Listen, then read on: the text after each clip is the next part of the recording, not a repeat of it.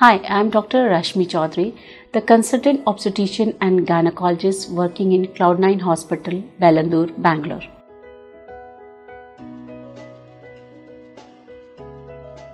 Ectopic pregnancy is also known as the extrauterine pregnancy. It is a state when the pregnancy is implanted or a fertilized ovum is implanted outside the uterine cavity. The incidence of ectopic pregnancy is around 1 to 2% of all pregnancies. It can happen in women of any reproductive age group. And the, every year about 1 million new cases are being reported in India of ectopic pregnancies. For in human being, for pregnancy to happen, during the time of ovulation, the ovary releases a mature egg which is picked up by the fallopian tube and the sperms from the vagina, it migrates up and it travels in the uterine cavity and reaches the fallopian tube where it meets a mature ovum.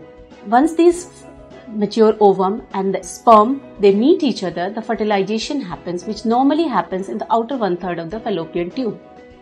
After fertilization, zygote is formed, and this zygote or fertilized ovum remains in the fallopian tube for 3 to 4 days before it heads towards the uterine cavity. So, if there is any disturbance to the migration of the fertilized ovum towards the uterine cavity because of the disturbed hormonal status or because of the damaged fallopian tube, it will result in ectopic pregnancies. There are different types of ectopic pregnancies, like the most common type of ectopic pregnancy is a fallopian tube pregnancy which is seen in about 97% of the cases. There can be interstitial pregnancy. Sometimes the pregnancy is implanted in the abdominal cavity. We call it as a abdominal pregnancy. Incidence is less than 1% cases. Sometimes ovarian pregnancy is also found. Its incidence is also very very less and here the pregnancy is implanted on one of the ovaries.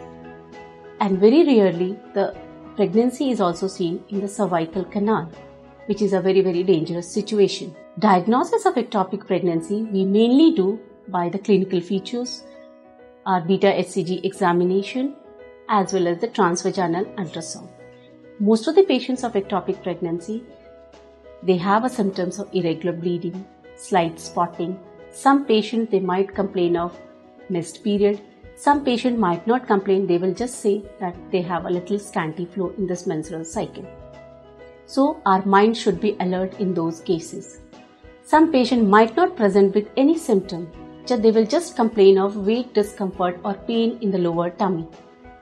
As well as there will be sudden dizziness spells.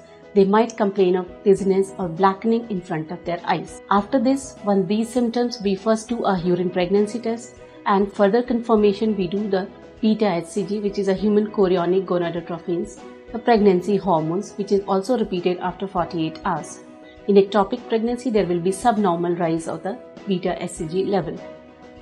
As well as the clinical examination, the pelvic internal pelvic examination we do and the mainstay of diagnosis of ectopic pregnancy depends upon the transvaginal ultrasound which will show the empty uterine cavity as well as mass in the adnexa. The treatment, once it is diagnosed, there is no way this pregnancy can continue.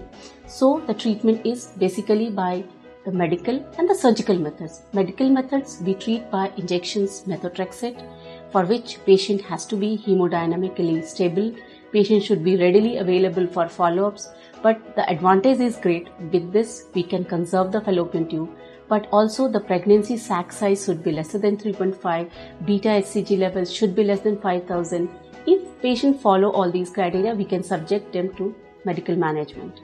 The ultimate definitive therapy is the surgical man- management which mostly we are doing by laparoscopic method either laparoscopic salpingostomy or laparoscopic salpingectomy if the tube is badly damaged.